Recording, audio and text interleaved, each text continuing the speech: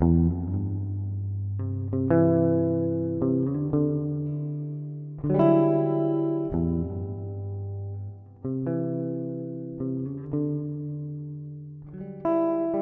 nombre es Miguel Ángel Martínez Meucci, yo soy politólogo. Me interesan sobre todo los momentos de conflicto político en los países, no tanto los momentos en donde las cosas funcionan normalmente a través de las instituciones, sino sobre todo los momentos en que las diversas partes de una sociedad están en conflicto. Apaciguamiento es un libro que fue escrito para describir, narrar y comprender los momentos de conflicto político que vivimos los venezolanos entre el año 2001 y 2005. No solo, eh, digamos, se consumó un cambio de gobierno que ya se había producido en 1999, sino un cambio de régimen político.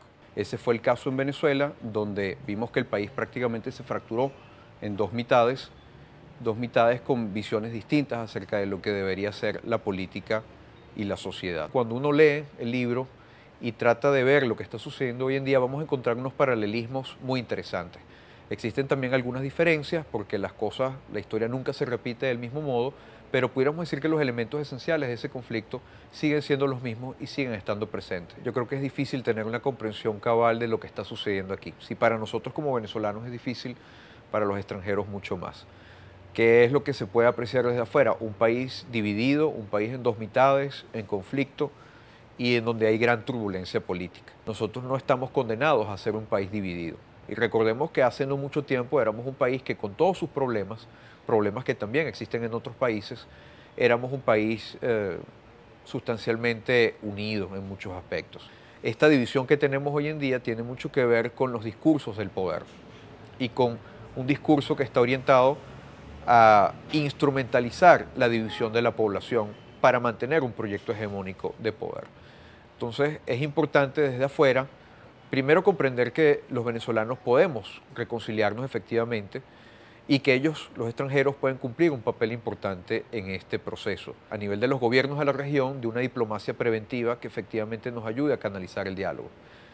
Pero esto pasa por no colocarse eh, del lado de uno de los, de los bandos en conflicto. Yo tengo algunas dudas al respecto desde el punto de vista del diseño de este proceso de diálogo vemos que no hay claramente la presencia de un facilitador o de un mediador, existen sí unos observadores, pero que no tienen posibilidad, digamos, de participar de ninguna manera o de regular el desarrollo de las conversaciones. Entonces esto pudiera desvirtuar o desviar la posibilidad de que se lleguen a acuerdos. Al igual que sucedió en, los años 2002 y 2003, en estos momentos estamos viendo mucha turbulencia y, mucha protesta en la calle.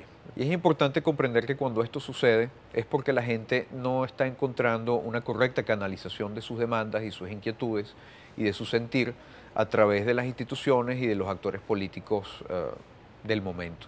Estamos viviendo tiempos económicamente muy complicados y por lo tanto es comprensible que la gente esté muy molesta. Al mismo tiempo, las instituciones están un tanto bloqueadas por un proyecto político que aspira a establecer una hegemonía. Y tenemos que tener presente que es, eh, el establecimiento de una hegemonía es incompatible con una democracia plena, verdadera, saludable.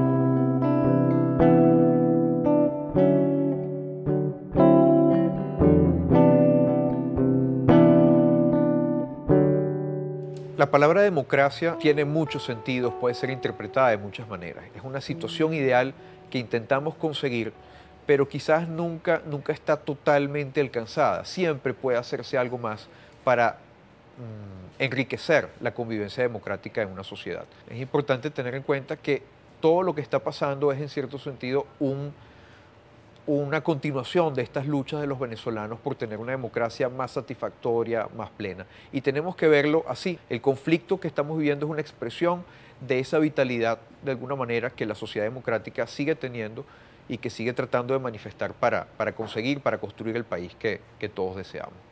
Hay un libro de, de Ángel Bernardo Viso que se llama Las Revoluciones Terribles, que me parece bastante interesante para comprender lo que significa una revolución y el cambio, las rupturas que están presentes en un movimiento revolucionario. Hay otro libro de Charles Tilly que se llama Democracia, fue prácticamente el último libro que escribió este sociólogo norteamericano, que nos deja también una, lección fundamental y es entender que los procesos de democratización y de consolidación democrática no son lineales, pasan a través de muchos procesos de conflicto, de muchos momentos conflictivos y que esas luchas son esenciales para que un país pueda llegar a una democracia sólida, estable. Por último, un clásico que me parece muy interesante, muy interesante para comprender los momentos de turbulencia política y social, es un libro de Alexis de Tocqueville llamado eh, Recuerdos de la Revolución de 1848, escrito en un tono de memorias, de confesiones personales, en donde una mente privilegiada del siglo XIX, como fue Tocqueville,